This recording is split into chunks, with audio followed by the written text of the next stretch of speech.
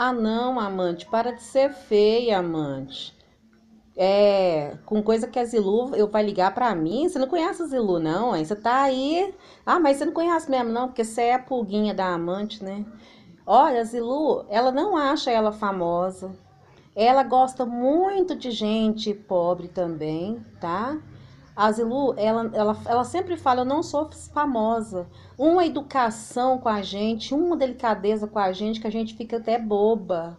Você não conhece a Zilu, não. Você não pode nem falar dela, que você não conhece ela. Ela me ligou, sim. Ela ligou e falou pra mim, não é de agora não, já de muitos dias já.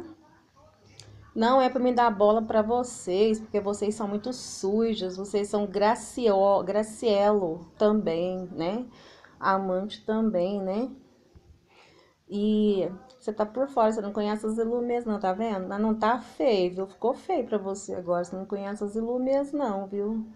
Nossa, ficou feio demais pra você agora, hein? Nossa, ainda mais as ilumes vai ligar pra ela. Por quê? Sabe porque você acha que eu sou é pobre, sou faxineira, a Zilu não pode ligar para mim?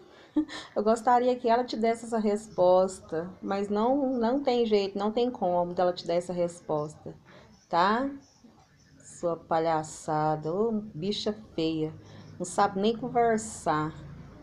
Você não conhece a Zilu, não. A Zilu, a Zilu ela, é, ela é uma pessoa muito ela mesma, ela é muito gente fina, legal, Ih, minha filha, você não conhece a Zilu, não. A Zilu não tem disso com ela, não. Com coisa que ela vai ligar pra mim, ela liga pra mim, ela fala comigo. Porque a Zilu é igual nós. A Zilu não é santa, filha. A Zilu não fica no altar. A Zilu é gente, carne e osso. Fala assim comigo, porque você acha que eu sou tão baixa assim?